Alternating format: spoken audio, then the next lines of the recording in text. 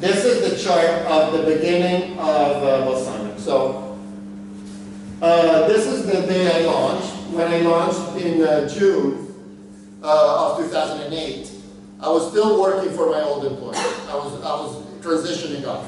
Um, so I wasn't even working full time. And then I started working full time on it. And this is the revenue chart. And then I got to November and I couldn't keep up with, uh, you know, it, it was really successful. I couldn't keep up uh, with all the emails, so I asked my wife to help me do customer support while I did the development. Then, after a few weeks, I started coding, uh, I, I started doing uh, customer support during the week, all week. By the way, all every night, because 5 p.m. here is 9 a.m. in California.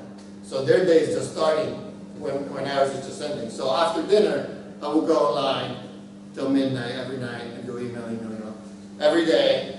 And then I didn't have any time to, in, to fix any bugs or improve the, the, the product uh, until the weekend.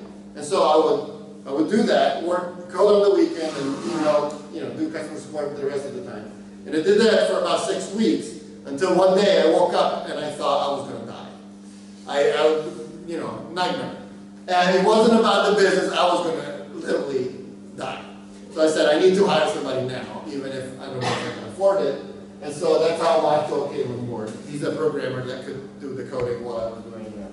And then right after we hired, uh, I hired Val, she's in California, in Bologna, Val is in California, so that I could finally go to sleep at night. She would take on the customer support. Um, so revenue kept growing, I hired a programmer, then hired a designer. So um, this is about